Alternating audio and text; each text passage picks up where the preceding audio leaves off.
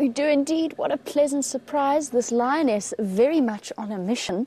Somewhere she's gone straight towards the hyena den and exactly where they, we saw those tracks of the other females disappearing. Let's try and stay with her. Um, one of the Nkahumas for sure. This is such an exciting way to start off our morning.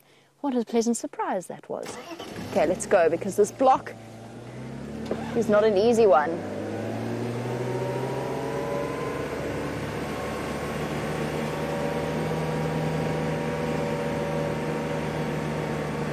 And we arrived just at the same time as another vehicle, obviously.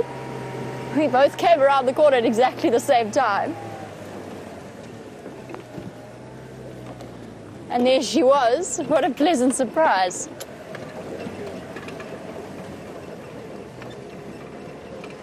Here we go. She's up ahead of us now.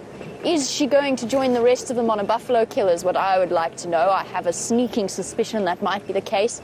Said that there was a huge... There's another lioness. How did we miss the first one?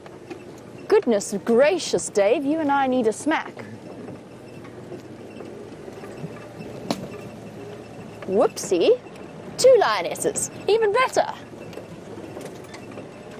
Oof, and into this drainage line. I'm not going to be able to follow them through here. I can't risk this vehicle before television. They've got enormously large bellies.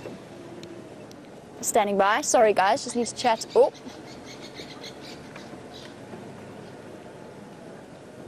Copy that, yeah. I'm not going to go driving in.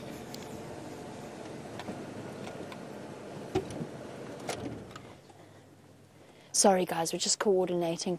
Um, so one of the vehicles has just said to me he thinks that these lionesses have cubs in this drainage line, which is exactly what we've been suspecting.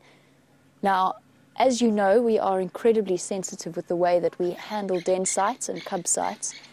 And I think that these lionesses could be, with their full bellies, they could also be on their way back towards feeding their cubs.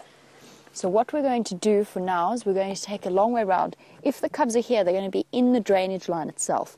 We're going to go and see if we can find a place to park on top of the drainage line, and we're going to try and stop there.